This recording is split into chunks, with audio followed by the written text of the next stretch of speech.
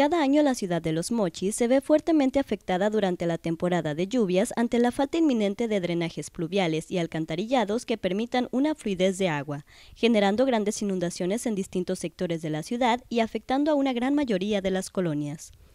Uno de los fraccionamientos que padecen las fuertes lluvias son las Mañanitas, donde la mayoría de los habitantes tienen que dejar sus hogares durante las inundaciones o aguantar el agua hasta las rodillas dentro de los mismos, poniendo en riesgo su salud e integridad con las aguas negras. A poco tiempo de que inicie la temporada de lluvias y con algunas precipitaciones que ya han caído en los mochis, vecinos temen que llegue esta época, ya que para ellos representan tiempos difíciles donde tienen que despojarse de muebles o buscar opciones para no perder sus pertenencias, como en años anteriores, donde el gobierno del estado les ha dado apoyos económicos a familias que se quedaron sin nada por las aguas que se llevaron todo. Ante esto, hacen el llamado a las autoridades correspondientes para que traten de subsanar las alcantarillas y no tengan que padecer nuevamente la pérdida de materiales e incluso hogares, ya que este problema se ha convertido en una situación usual durante los meses de julio, agosto y septiembre, que son los meses más lluviosos en la región. Para Mega Noticias, Mayra Escalante.